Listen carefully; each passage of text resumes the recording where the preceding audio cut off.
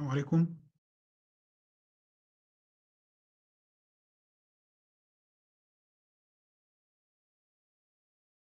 السلام عليكم، مساء الخير جميعًا، آآ نستكمل الآن ورشة العمل مع الدكتور أيمن بما يخص الsurgical site infection surveillance.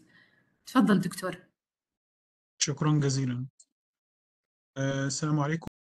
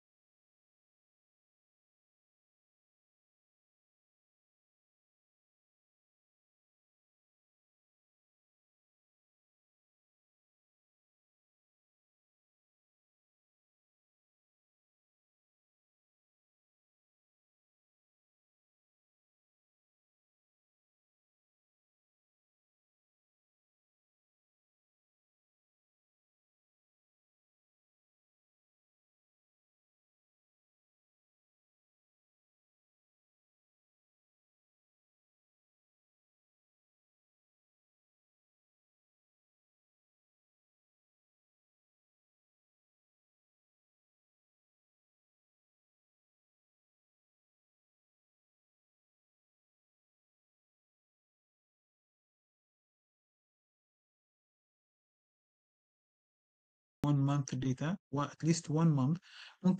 Maybe you can collect for two months, three months, or the whole year. It is fine. Uh, so remaining issue or the question is which surgery I should do? Do I have to do all surgeries, surveillance, or do certain types of surgeries? Uh, which type, if we are doing a specific surgery, which one? So the answer for this is not easy. But for the first one, uh, all operation, no, we, we don't do SSI for all surgeries. We only choose few, one, two, three, four, for example, surgeries, and we, we do surveillance for this type of surgery.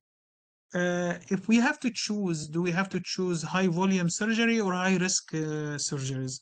High volume surgery means surgery that is done frequently in the hospital, like uh, C-section.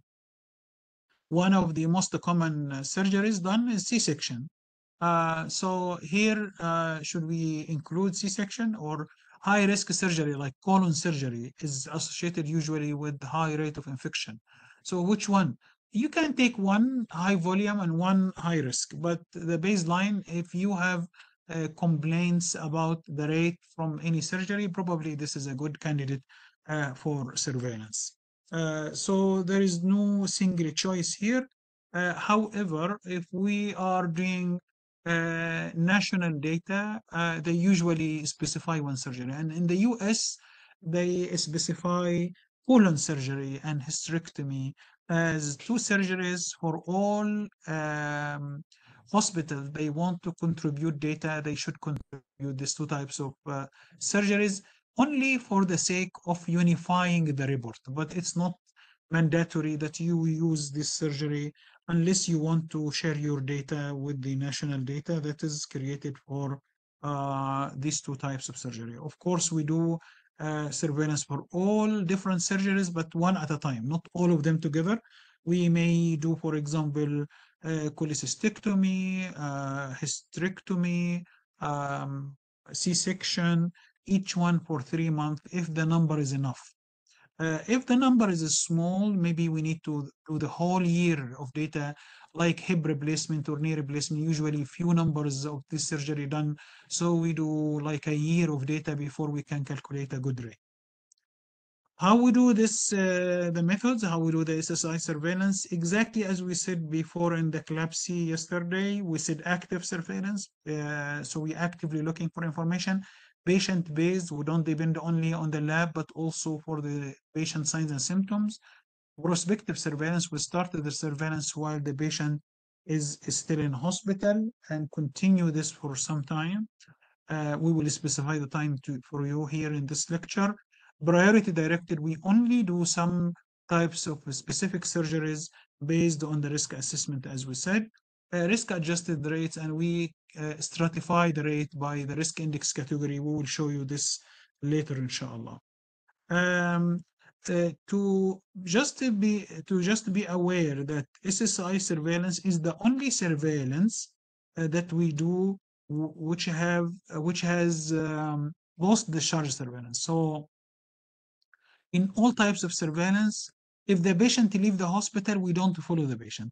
But only in SSI, if the patient leave the hospital, we still follow for the development of SSI for at least one month, and in other some surgeries, three months before we can say he he or she does not have or does not or didn't develop uh, any infection.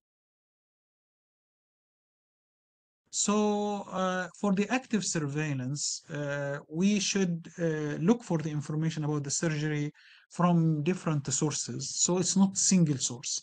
So we collect the data from admission, readmission, ER, OR logs.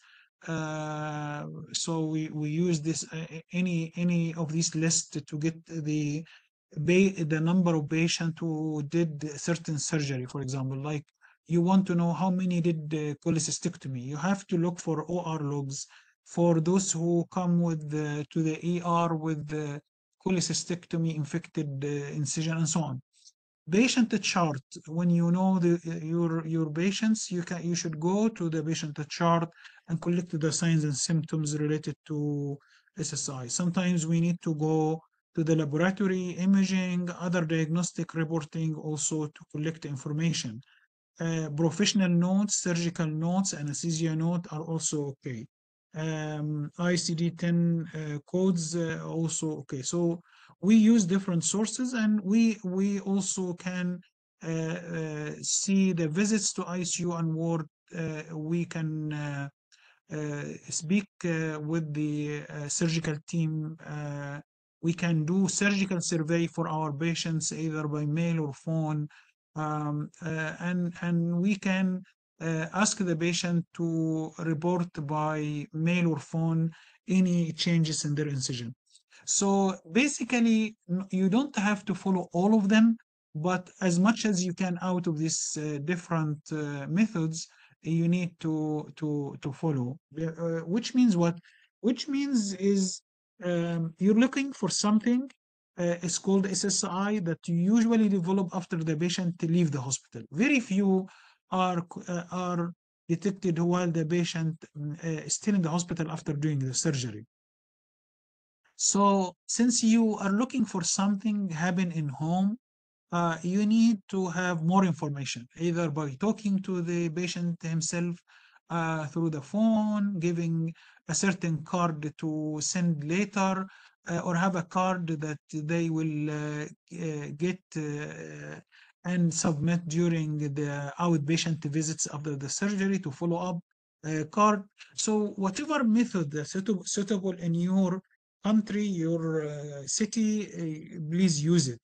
So there is no ideal way, and some of these ways, like uh, mail, for example, is uh, common in US, not common here in Saudi Arabia. So uh, there is no standard, uh, not, not no standard. There is no perfect method. You have to use multiple overlapping method to get most of the information.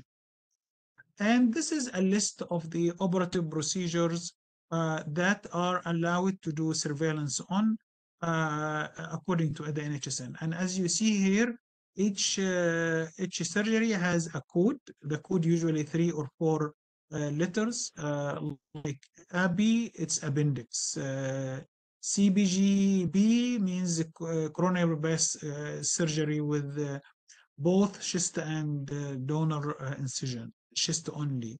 Uh, colo is colon surgery, uh, and so on. Uh, and there is a description of what does it mean. Uh, this is cholecystectomy or uh, cholecystotomy. Um, craniotomy means excision, repair, exploration of the brain, uh, or meninges does not include uh, taps or punctures. So what does it mean? This type of so this is not a surgery; it's a group of surgery. Uh, this is what we wanted to tell you, and uh, they are arranged alphabetically from uh, abdominal aortic aneurysm AAA. Um, so the next uh, slide show you the rest of this um, like heart transplant until ventricular shunt. Uh, and as you see here, um, the, the code, the name of the operative procedure groups, and the uh, description. And uh, if we take these uh, three example and uh, just to tell you that you cannot do single surgery, you should do a group of surgery, uh, like breast, for example. Breast BRST is uh, breast surgery, and this is include different types of surgery done on the breast, um, like excision of lesion or tissue of breast during uh, radical mastectomy, modified mastectomy, quadrant resection, lumpectomy, incisional biopsy, or mammoplasty. So from plastic surgery to cancer to diagnosis to lumpectomy to uh, incisional biopsy, different types of surgery done in the breast should be included together in one group called breast surgery. So if somebody do uh, only uh, radical mastectomy, uh, is this right? No, we we as I said, to get the right rate that you can compare it uh, to NHSN and other uh, uh, like benchmark, you need to follow the same group. Also here, uh, cabbage means coronary bypass surgery, which uh, they take uh, one of the uh, arteries or veins and insert it to replace the the the the blocked coronary artery if they take this from the chest, chest only, they take from the chest and the, uh, sorry, from the, the leg, it's called chest and donor incision. Uh, and so on. So I'm, I'm not going to go through all, all surgery to describe it. Uh, what you need to do before you do, you do surveillance, you need to ask, uh, what is this type of surgery? What are surgeries included?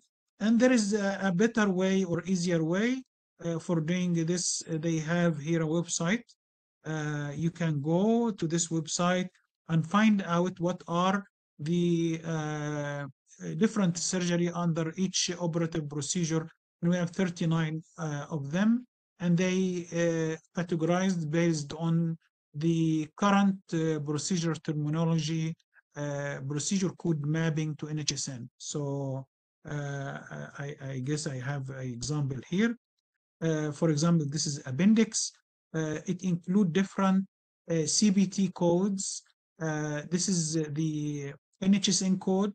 this is CBT codes, which different types of surgeries, incision and drainage of appendiceal abscess, open incision, appendectomy, removal of the appendix, appendectomy when done for indicated purpose, appendectomy for ruptured appendix, laparoscopy, uh, surgical removal of appendix, unlisted uh, laparoscopy procedure appendix, so all these different situations that you can have surgery on appendix, and again, each type of uh, each one of the 39 group have list of uh, this type. So this would help you uh, find out the patient who did this different types of surgery. So when you define to yourself what are surgeries including this group, you can easily, uh, and sometimes your hospital have name this surgery differently. So you will be, uh, you should be uh, aware of the names of the different surgeries and list them in one piece of paper and go find out cases that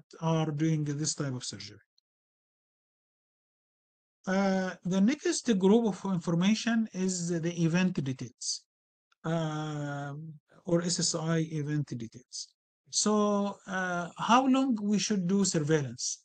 Uh, basically, uh, we're looking for SSI after that develop after or within, sorry, uh, 30 days after surgery or 90 days after surgery. And the choice between 30 and 90 is not our choice. It is uh, already predetermined based on the surgery itself. So a group of surgery you should follow for 30 days only. A group of surgery you should follow for 90 days. Uh, making sure that superficial incision is always 30 days for any surgery. Deep and organ could be 30 or 90 according to the type of surgery.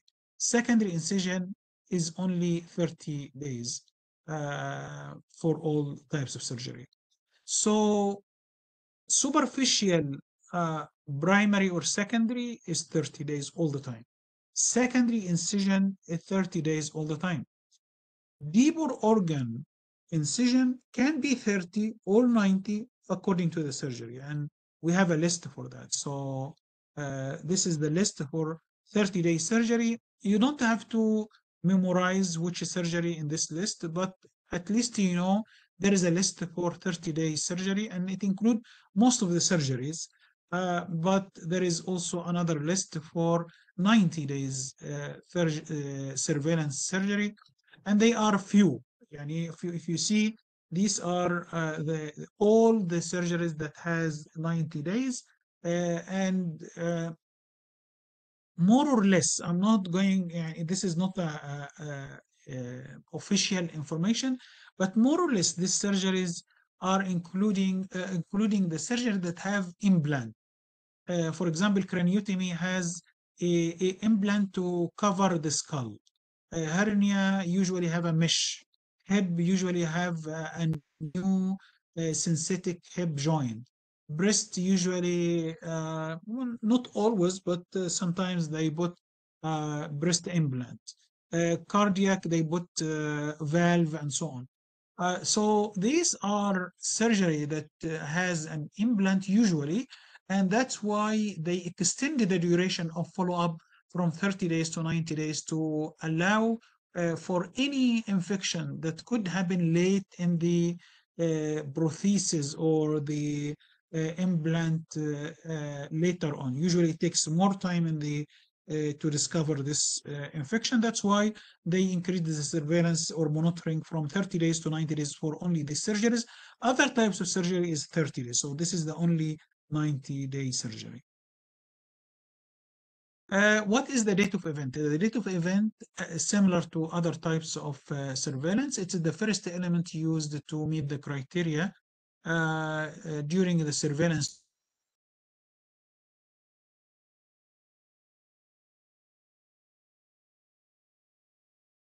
event. Uh, remember, there is no window like uh, in SSI, CAUTI, VAB, VAE. There is a window, maybe five days in VAE, seven days in other device associated. Uh, but in, in SSI, there is no window. There is no seven day window. But uh, they said if you have symptoms, for example, say the symptoms are fever, bus, and pain. Uh, they should happen within few days. Yeah, and don't take fever from the beginning of the month with bus and the end of the month and say these are together. No, they have to happen within seven to 10 days, no more than two to three days between each of the elements.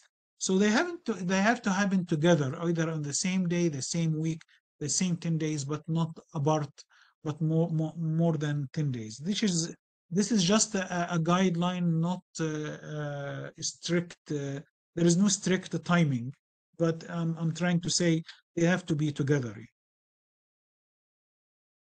And um, this slide is very interesting. I like it. Uh, and this is a study that has been done in Pennsylvania, um, USA, and it shows when the SSI happened or detected and they did like uh, follow-up of more than 4,000 uh, surgeries and they find that the most of the surgery 43% are discovered between 8 and 18 days which means in the uh, second uh, week mainly mainly the second week or uh, the second and the first half of the third week after the surgery. So usually does not happen in the first seven days.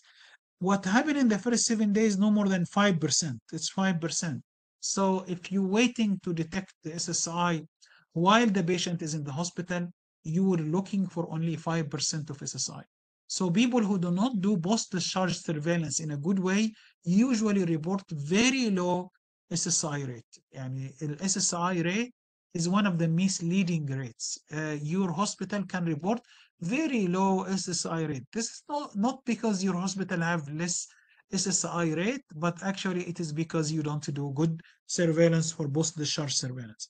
Because only 7, uh, 5% or less being in the seven days, and usually 90% of the surgery patient leave within the first week. Usually after two or three days, they are allowed to go home uh, and continue care in home. Uh, as you see, few uh, a good number also, it's not few, like 20% can happen after 30 days. And that's why they created this 90 days for hip, for knee, for breast, for cabbage surgery. Then they created 90 days. And this is uh, this slide uh, uh, tell us that the, the highest rate of SSI detection would be in the second week, maybe later in the third week and fourth week. Uh, after the fourth week, a little, but it can happen in some types of surgeries. Uh, a question is, can I have a secondary BSI after SSI? Yes. And actually, both scenarios can happen after uh, SSI. What does it mean?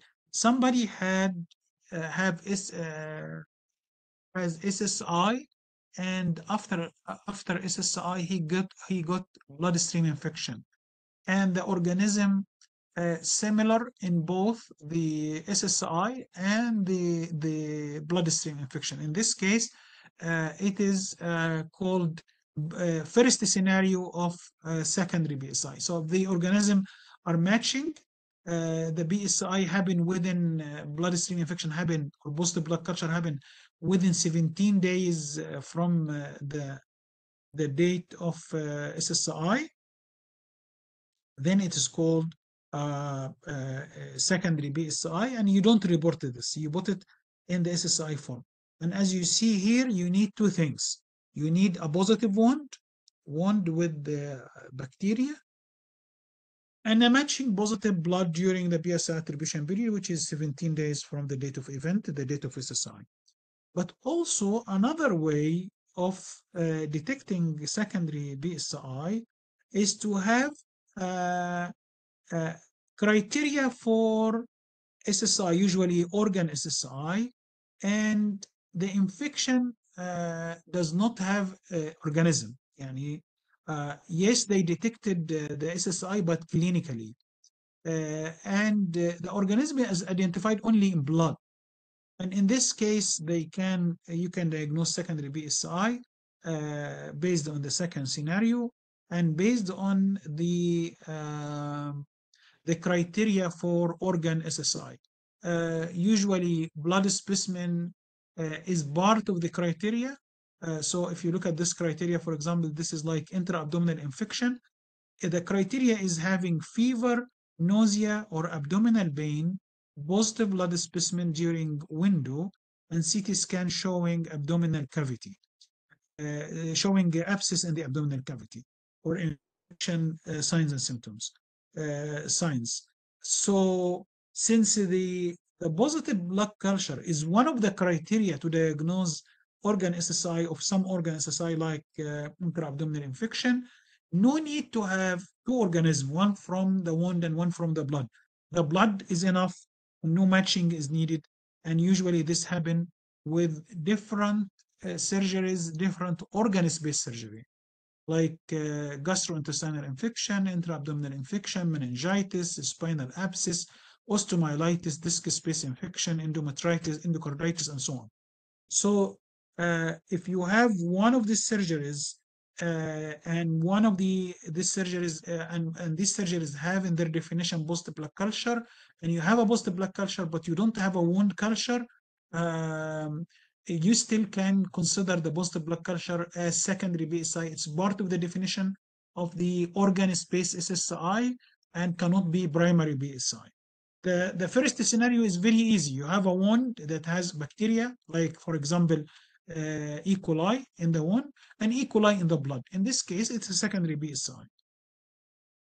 In the second scenario, you have E. coli in the blood. There is no E. coli in the wound, but the E. coli in the blood is used in the definition of organ-space SSI, and that's why you consider it a secondary BSI, even if there is no matching organism from the one.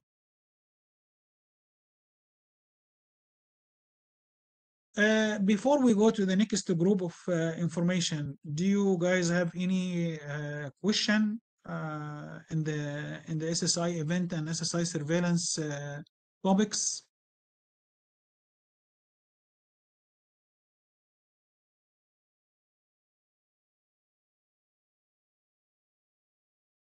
Okay, so we will دكتور أيمن، um, الله يسعدك اتفضلي. في نهاية المحاضرة في الأسئلة نهاية المحاضرة طيب خلاص ماشي اوكي Uh, let's go to the next group of information like denominator information.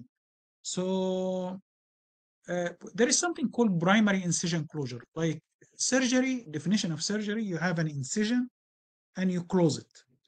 Uh, طيب some surgery, uh, uh, what does it mean primary closure? Closure of the skin level during the original surgery, regardless of the presence of wires, wicks, drains, or other uh, devices. Yani, uh, as long as incision has been done and attempts to close the skin incision, this means a primary incision closure. Even if they don't close it to the total, yani, keep part of the incision open to put wires, to put uh, drains or something like that. So these surgeries are included in the uh, uh, uh, surveillance.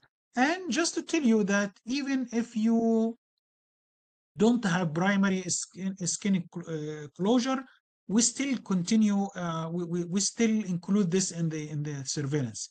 So it is not a requirement for surveillance, but we just tell you there is something called the primary skin closure. And uh, this happen if any attempt close part or all the skin incision. So this is means primary close.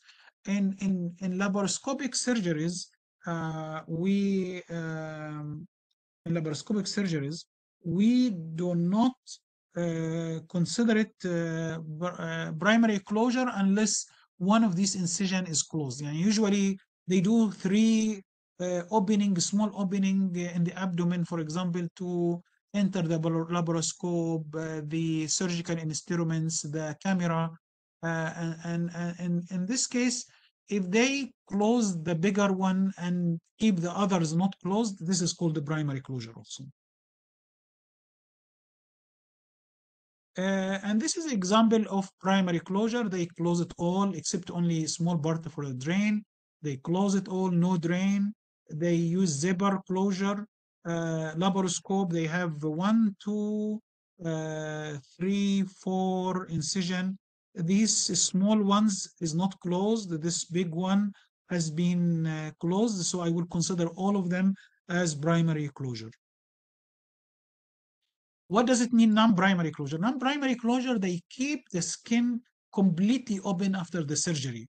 And this is sometimes happen in uh, in uh, exploratory laparotomy. They they open an incision, somebody who had an accident and have uh, shock after accident. So usually they open the abdomen to see if there is internal hemorrhage, if there is something uh, need fixing uh, or surgery ins- inside the abdomen, and they keep the skin incision open for one or two or three days just to make sure uh, they have access to the abdomen. Uh, also, some surgeries like uh, cardiac surgery in neonates, they open the incision in the sternum and keep it open, does not close it at all. Uh, because in the neonates, if they do incision in the sternum, they uh, they the, the skin fuse very easily in in neonates, so they don't close it.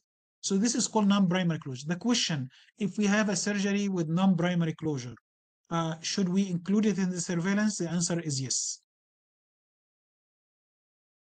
Uh, what does it mean SSI denominator? SSI denominator means uh, um, um, is uh, information that you collect on the surgery that way you will use it when you uh, stratify the SSI rate, including emergency surgery. So emergency surgery has no definition. It is it it, it means non-elective. So if it is not not not elective surgery, and according to the policy in your hospital, it's called urgent or emergent, then emergency. General anesthesia, anesthesia used uh, to uh, make the patient unconscious and paralyzed, usually by injection. Um, inpatient and outpatient, if the patient stay overnight, it's called inpatient. If they stay, uh, do uh, the, the patient have admission discharge on the same calendar day, it's called outpatient. So uh, admission discharge in the same calendar day is called outpatient. Admission and discharge in different days is called inpatient procedures. Scope means the surgery was done through a, a- a- a scope. Could be laparoscope, could be uh, abdominal uh, scope, uh, gastroscope, uh, uh, otolaryngoscope, uh, colonoscopy. So these are surgery done by, by scope. Diabetes means somebody who have the disease as diagnosed by a physician or is managed using insulin or oral hypoglycemic medication. Um, for the risk index category, um, this is a, a way of categorizing the patient for the surgery. We want to create a rate, but we want to create a rate for those who have high risk of infection and those who have low risk of infection. So stratify the rate by the risk of getting infection. Like if you have some patient who have multiple comorbidities, he have uh, diabetes, hypertension, hypothyroidism, uh, heart disease, previous stroke, and he is doing a surgery. Do you expect that this has the same risk of uh, infection as a young lady doing C-section? Uh, usually, young lady doing C-section should go fine, no infection. But this old guy who have this multiple comorbidities should have or uh, should not should have uh, usually he has higher risk of getting infection. So how we can categorize our patient according to the risk of infection? Uh, we use what is called risk index category. So risk index category it is the sum of the risk factors that can increase the risk for getting SSI in a patient who did surgery. So what are, how we can uh, uh, uh, identify the risk factor? The risk factor, there are three types of risk factor, ASA score, wound class, and operative duration. So an ASA score is anesthesia score that classify the patient according to the probability of death um, or probability uh, of being alive. So if the patient get this big numbers like three, four, or five, this means he has a high risk of getting infection. So if the patient uh, uh, has a score of one, two, give it zero, three, four, five, give it one. One means he has the risk factor for comorbidity. Usually, this uh, count the comorbidity. If the patient have multiple comorbidity that affect his life, probably he will get four or five. Um, five means uh, somebody who's going to die soon. Um, so uh, these numbers uh, means higher risk of comorbidity, higher risk of uh, uh, getting death. So if the patient has a risk of three, four, five, you give it one. Wound class, if the class is contaminated, number three, or class number four, dirty, infected, you give it one. Operative duration, if the duration of the surgery is longer than expected, you give it one. If shorter than expected, you give it zero. So each one of these get either one or zero. One means present, zero means not present. So three, four, five ASA score give one. Wound class dirty or contaminated give one. Operative procedure more than uh, the expected cut point, then give it one. So uh, back to ASA score. People who ask what does it mean ASA score? It's American Society of Anesthesiology, Anesthesiology uh, score. And as you see, one is normal patient, uh, two is normal with mild systemic disease. So if the patient had one or two, give zero, means he is okay. Uh, he's okay to do surgery, he's okay uh, not to get SSI. But if the patient has severe systemic disease, but is still okay, or severe systemic disease, but he's uh, not okay, and the, the, the systemic disease is actually incapacitating and uh, um, like has the risk on the, the, the life, this four. Patient who are expected to die soon is number five. Number six is not included in our uh, surveillance because uh, number six means he's already died, means brain dead, brain dead patient. So we don't include number six in our surveillance. Uh, so we include only one to five.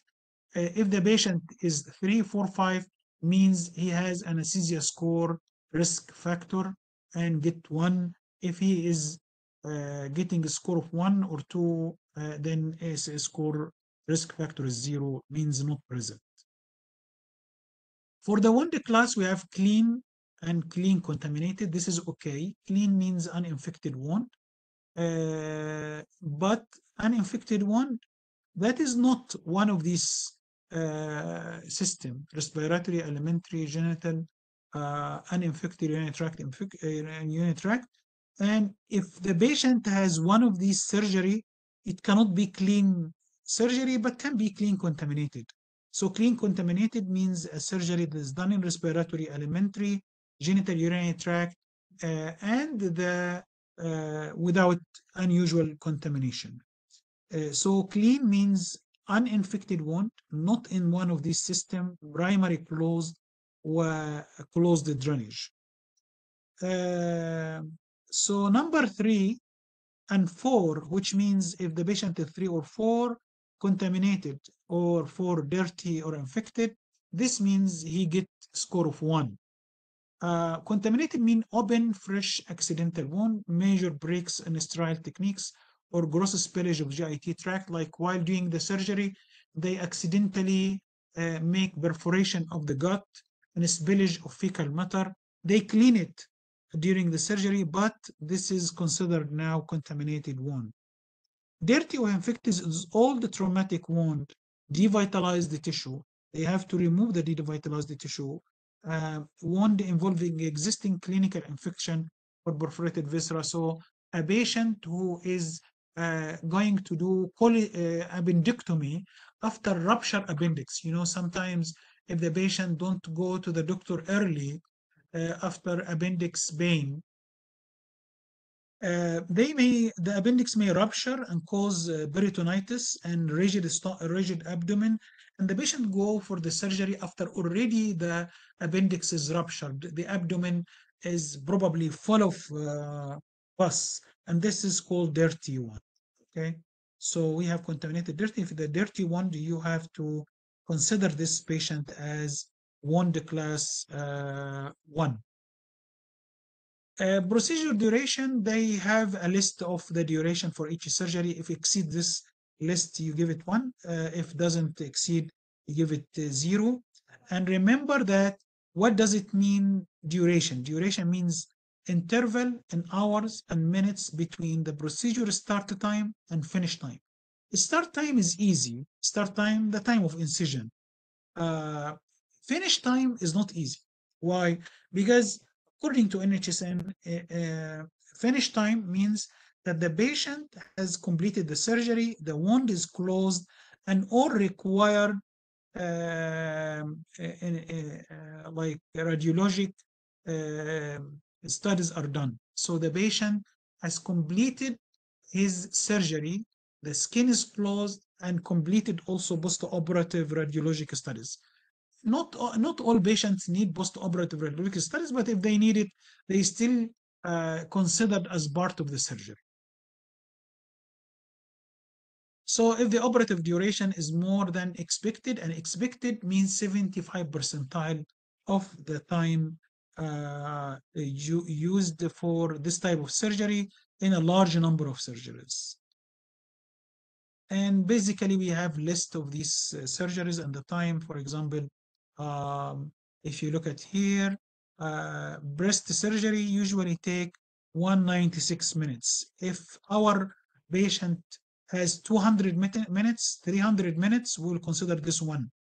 If he or she, uh, sorry, if she has uh, surgery 196 or 195 or 190 or 180, 150, two hours, then, then the time uh, duration is, is zero. So duration is zero, if it is less or equal to 196 but if it's more than 196 it will be considered as long duration and this is taking a score of 1 so you put the ASA score 1 or 0 one the class 1 or 0 post procedure sorry procedure duration 1 or 0 and you count the sum of this uh, uh, so the sum could be 0 0 0 is the sum is 0 or 1, 0, 0, because sum is 1, and so on. So you have 0, 1, 2, 3. The maximum 3 and the minimum is 0. And this is an example. You have somebody who have ASA score 1, means it is A score 3 or 4 or 5. 1 the class is 0, so it is less than the, uh, it is uh, it is class 1 or 2. Uh, and procedure duration is 1, so it's taking more time than listed. So if you count, uh, sum up uh, 1 plus 0 plus 1, it is 2. So the risk index category for this patient is 2. Uh, as you see here, this is uh, a study that was done in 2011, and they said that the risk index category I have described to you is not enough.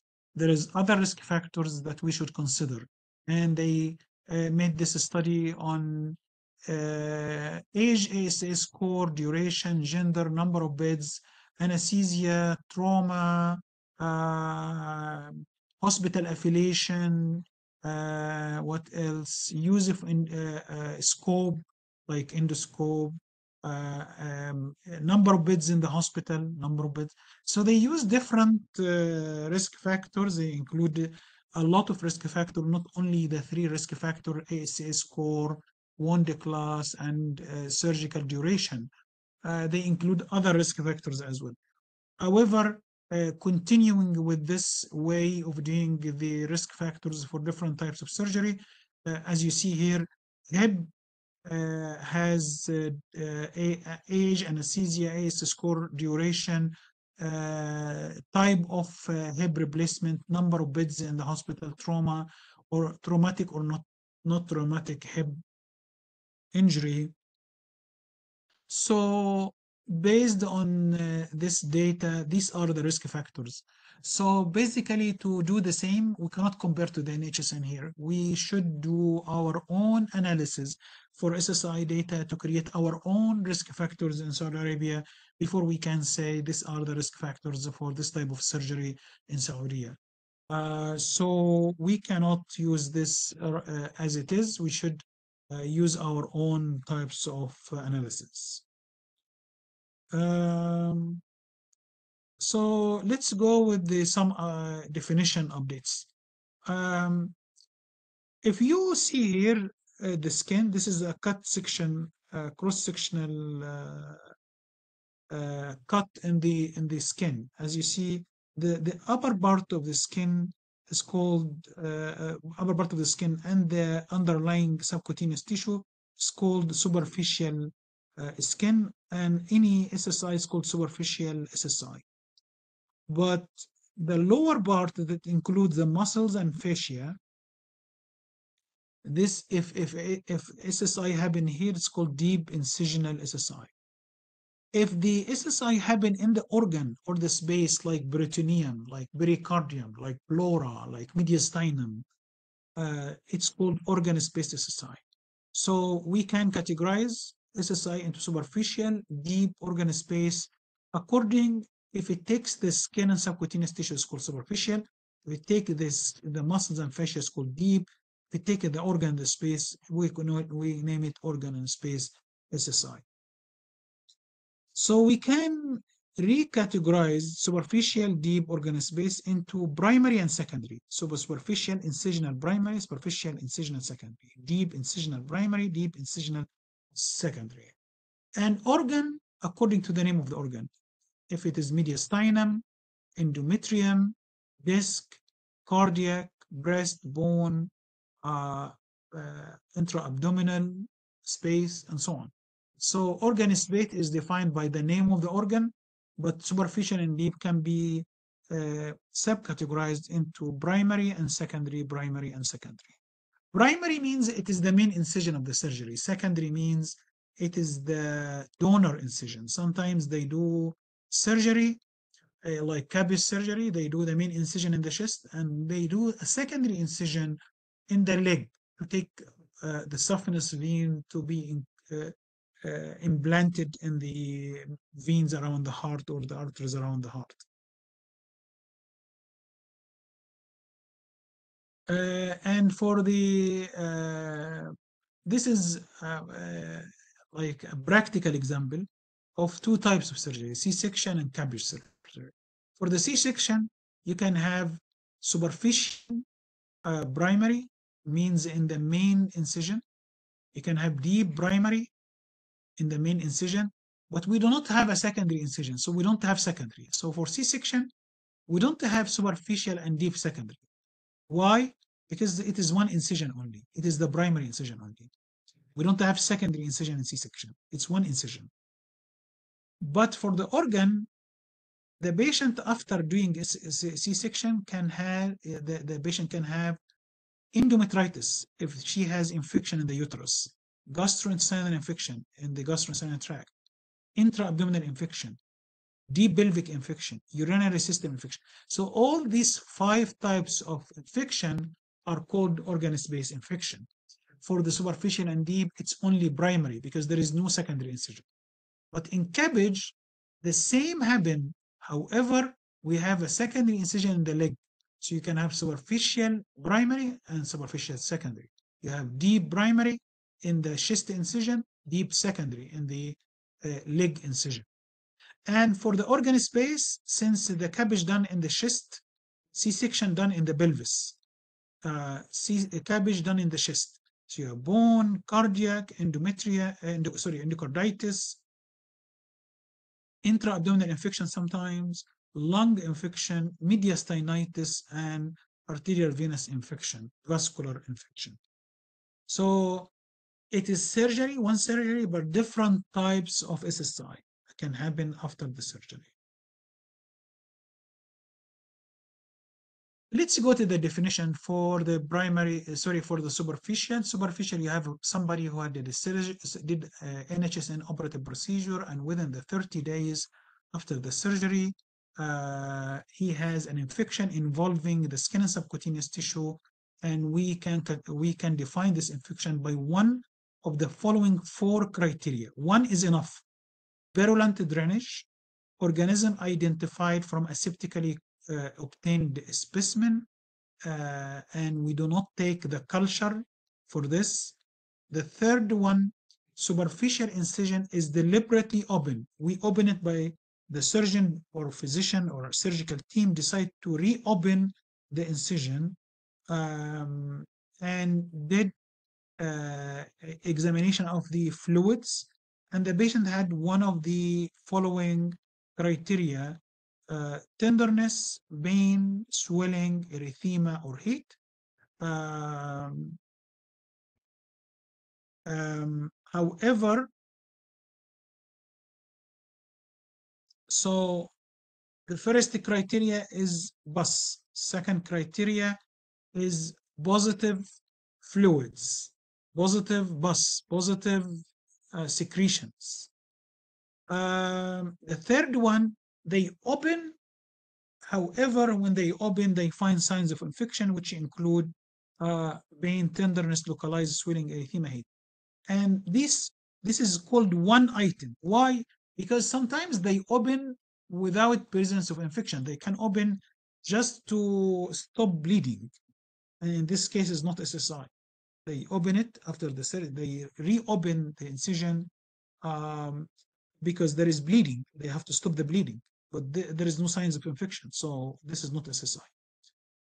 Uh, the fourth criteria is physician himself say this is an SSI. So this is the only situation that we take the, the decision of healthcare provider.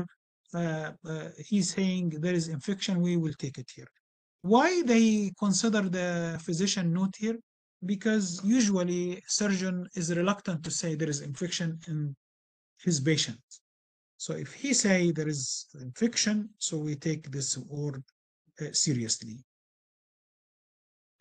And again, we can categorize superficial and superficial primary and superficial secondary, and this is only in, in, in surgery that has donor incision or secondary incision. Uh, uh, superficial, let, let's go to the deep. Deep here, we have a patient who had a surgery, and within 30 or 90 days, according to the type of surgery, the patient had infection that involved the deep tissues. And when we say deep tissues, it means the muscles and fascia, and has one of the following four, uh, sorry, three items. Uh, first one is purulent drainage from the deep incision. So there is a drain from the muscles, and this drain is showing pus pausing. Uh, or the incision is spontaneously dehisce, means open by itself. Deliberately open. Deliberately open means the surgical team open the incision. And um,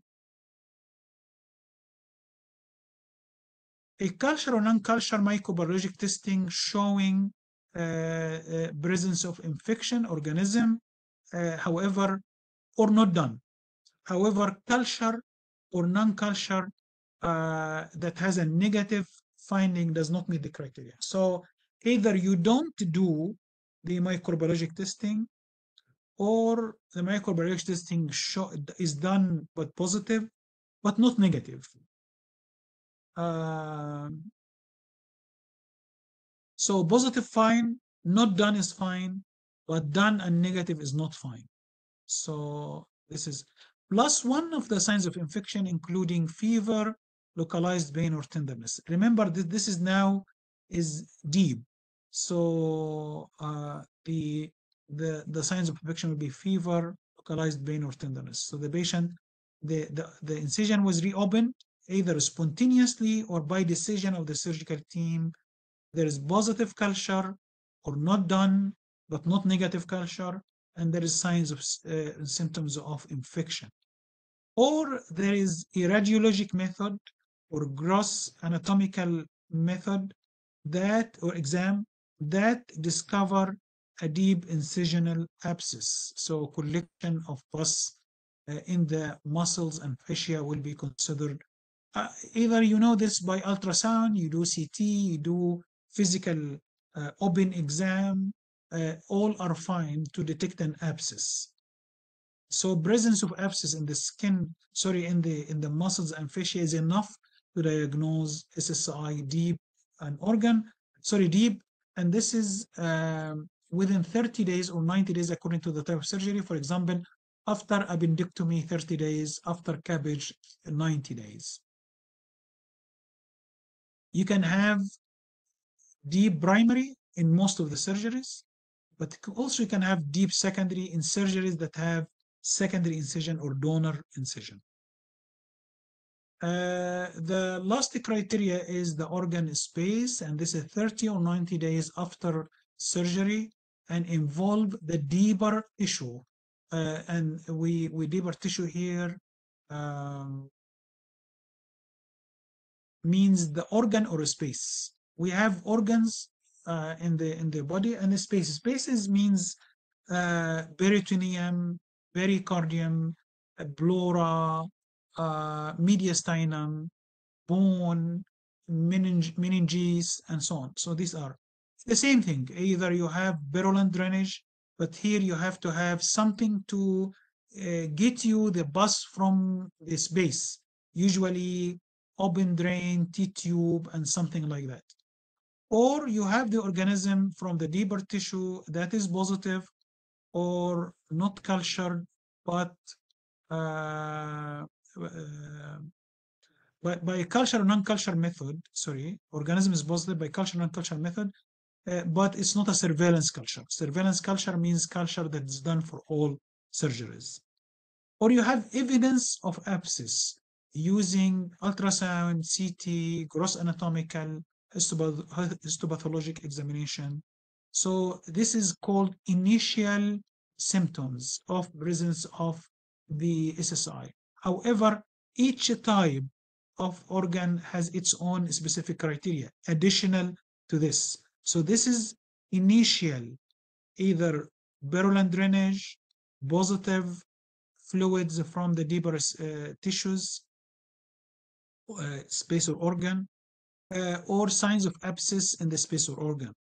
Plus other criteria, each criteria is specific. For example, you have bone, you have osteomyelitis, you have mediastinitis, criteria for endocarditis, criteria for arterial infection, and so on. So each, each one of these organ space has its own different criteria. So the, the definition of SSI is so big if you take in consideration this organ space. How we are going to report the SSI? We have reporting for event and reporting for denominator. We will go through them quickly. It's easy, uh, but just uh, uh, you need to concentrate. Let's go with the reporting of the event. Excluded organism. As you know, uh, these six organisms are fungal community pathogens. We do not consider these are pathogen for any of HAI, including uh, CLABSI, VAP, VA, um, CAUTI, and SSI. So are not, we are not using this in our definition. The other thing is latent infections cannot be considered SSI, including the herpes, shingles, syphilis, and tuberculosis. PATOS. PATOS means infection present at time of surgery. PATOS. And here you should have some uh, conditions. Evidence of infection must be noted during the surgery. So the physician or the surgeon documented that there is infection discovered at the time of surgery. The abscess is considered evidence of infection. Wound class cannot be used for PATOS determination. So, uh, irrespective of wound class, must be the same depth as the reported infection. So, if you have uh, the surgeon said there is abscess in the peritoneum, so the only SSI accepted level is organ space SSI. So if he has superficial SSI, we cannot consider this PATOS because PATOS need to be in the same level of documented infection. If the infection abscess was documented in the organ space, the SSI has to be in the organ space. If the documented abscess during the surgery wasn't the uh, uh, muscles and fascia, it has to be organ, uh, sorry, deep SSI, uh, not superficial, and so on. Um, example that indicate presence of infection during the surgery. Uh, I will give you the names. Uh, the, uh, these are the word that you're looking for in the patient record to know there is PATOS. Um, like the word abscess, infection, purulence, pus, uh, uh, uh, feculent peritonitis, rupture perforated appendix.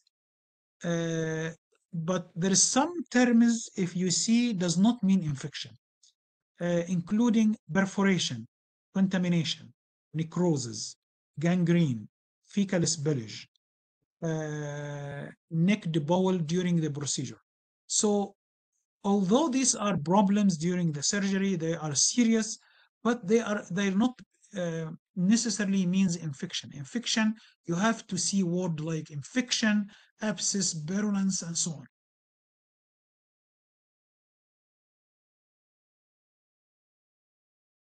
It should be noted that PATOS is not determined by pathology reports, culture results, wound class, trauma status, imaging testing, uh, and only determined by the physician documentation at the time of surgery.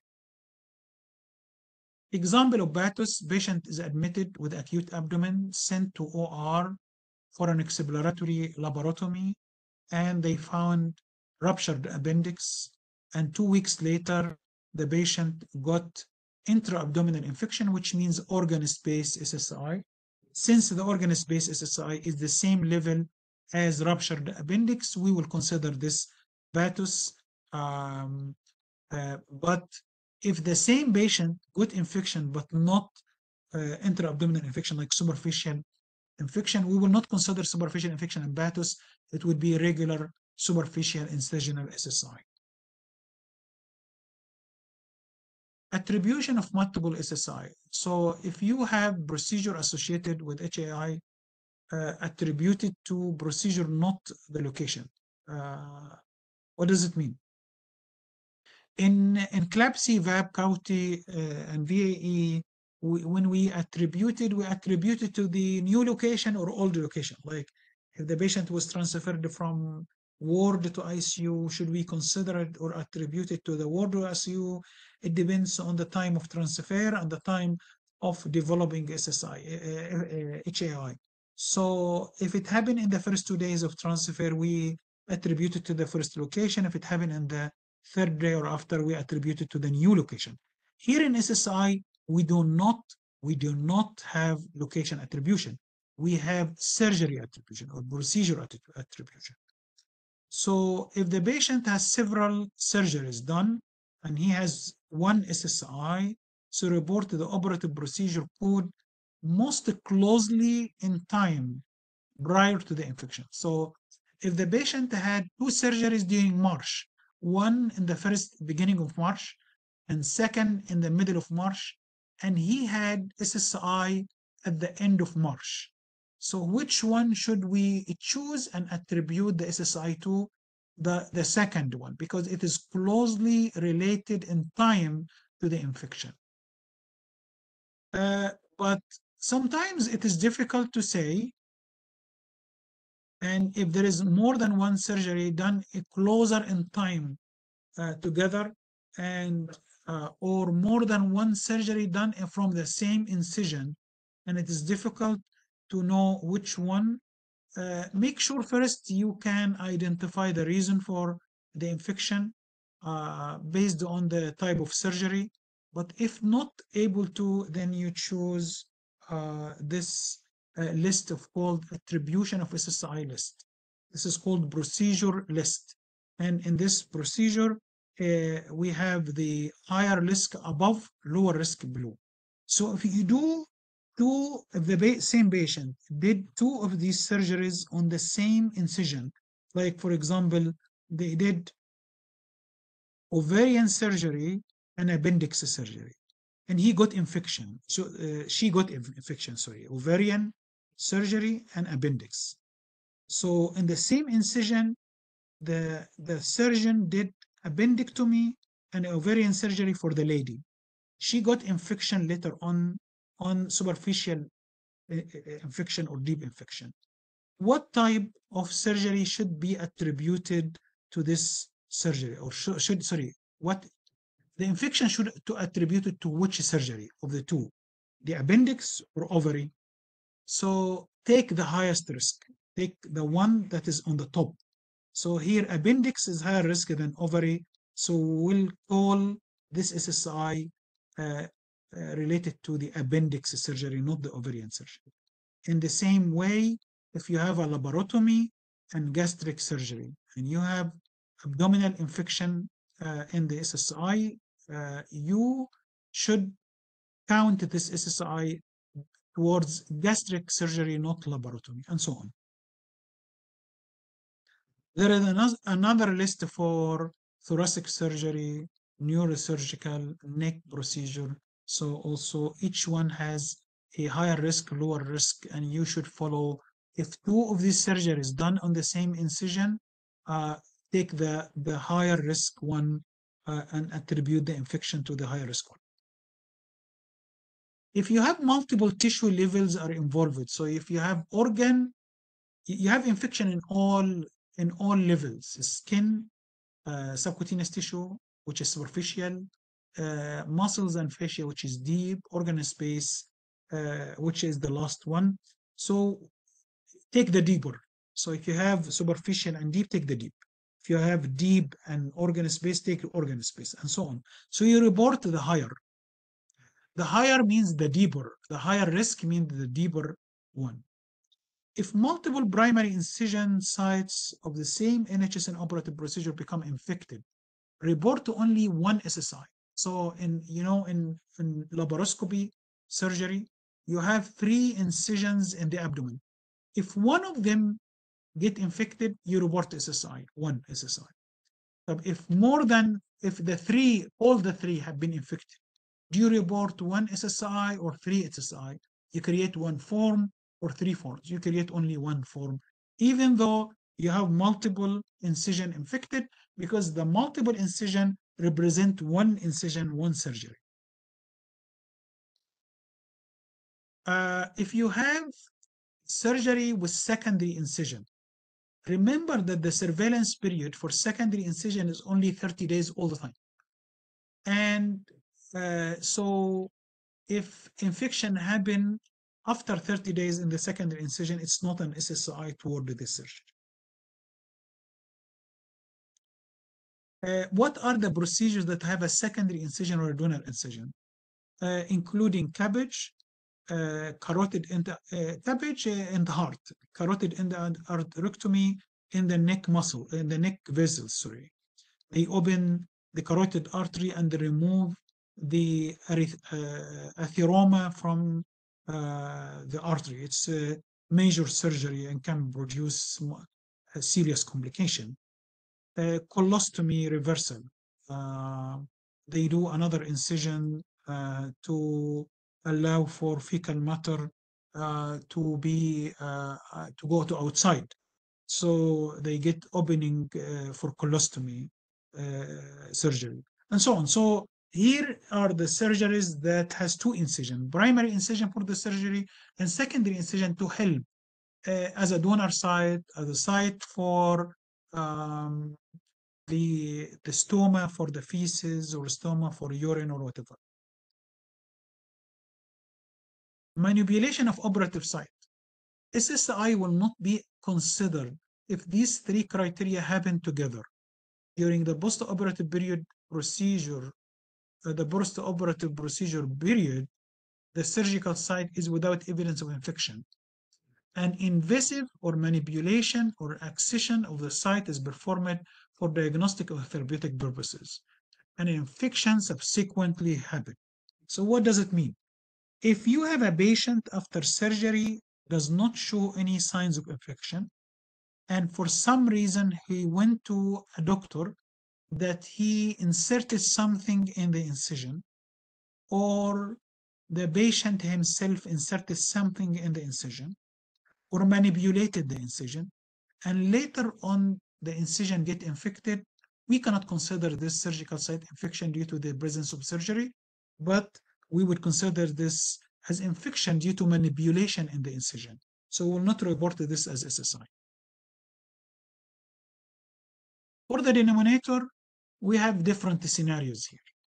If you have two procedures performed, performed during the same trip to the OR through the same incision, the common example for this is CABG and cardiac surgery. CABG is about the arteries of the heart. Cardiac is about the valves, the septum of the heart. So they are related surgeries, can be done together. So do, do you fill one form or two forms? Since they are two separate surgery, according to NHSN, we fill two forms. The only exception is when you start your surgery, CABG C, and you end with CABG B. Like you, you plan to do CABG surgery through, through only chest incision. So when they do the chest incision, they take the artery or vein from internal mammary, uh, internal mammary visits.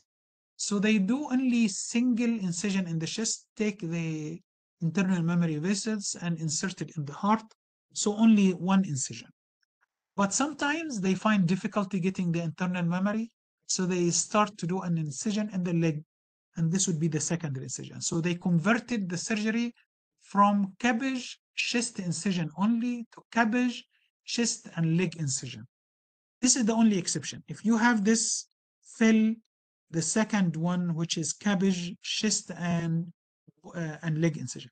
Because you start chest only but you did uh, uh, additionally leg incision. So now it is not anymore chest only it is chest and uh, leg so you CABG both. You don't fill two forms one form only for CABG both. If you have bilateral surgery you, you know you have a patient who have right knee replacement and left knee replacement. Do you fill uh, one form or two forms. If it is right and left with two decision with two incisions, two forms, right and left knee, right and left hip.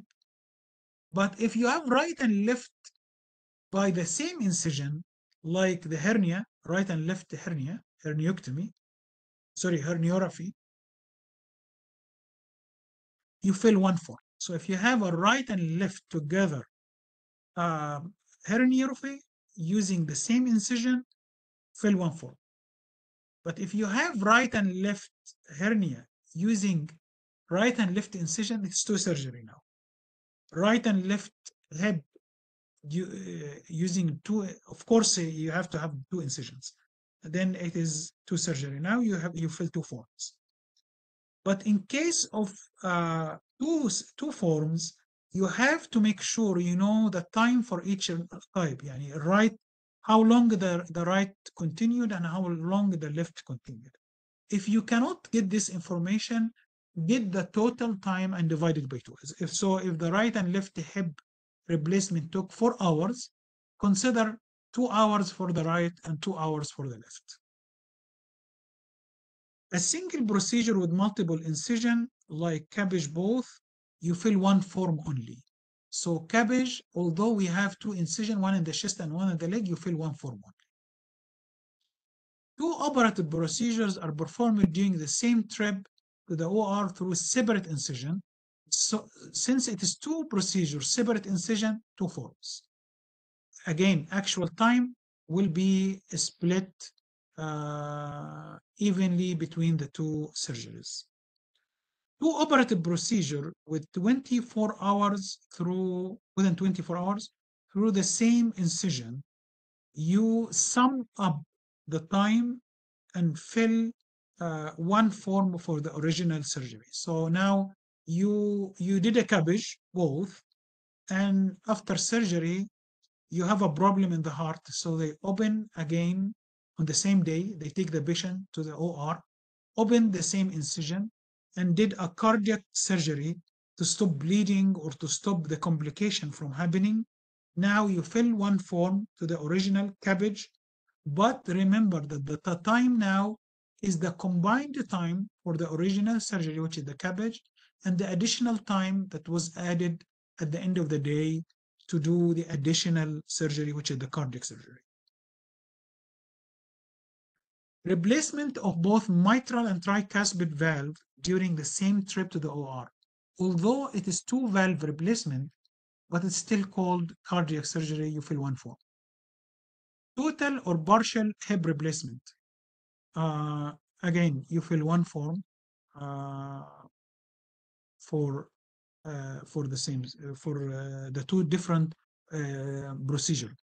Total or partial revision of hip or knee is different procedure, but is still or different way of doing the surgery.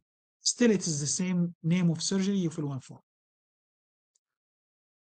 If the patient expire during the uh, during the operation in the OR, do we do surveillance? No. Um, you don't feel anything because we don't. Uh, you, you may ask the patient die and you don't fill SSI form. Yes, because the patient die before SSI is uh, is developed. Hysterectomy procedure should be designated as abdominal or vaginal based on the approach. So you fill one form for hysterectomy, but you want to make sure is, is it abdominal hysterectomy or vaginal hysterectomy because they are different surgery according to NHSN.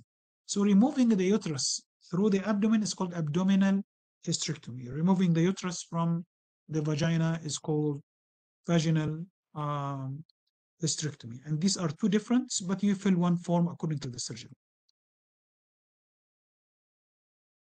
Uh,